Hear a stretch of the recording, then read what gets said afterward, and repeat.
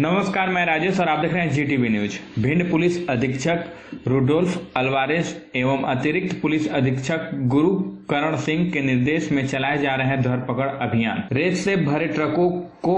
अमायन थाना प्रभारी गोपाल सिंह सिकरवार ने पकड़कर थाने पर खड़ा करवा दिया और हिदायत दी कि अमायना थाना क्षेत्र में ओवरलोड वाहन व वा बिना रॉयल्टी के अगर निकले तो खैर नहीं जिससे रेत माफियाओं में मचा है हड़कंप भिंड जिले में अमायन थाना पुलिस की अभी तक सबसे बड़ी कार्रवाई अमायन पुलिस ने सात ट्रक ओवरलोड पकड़े हैं पेश है भिंड से आदित्य द्विवेदी की खास रिपोर्ट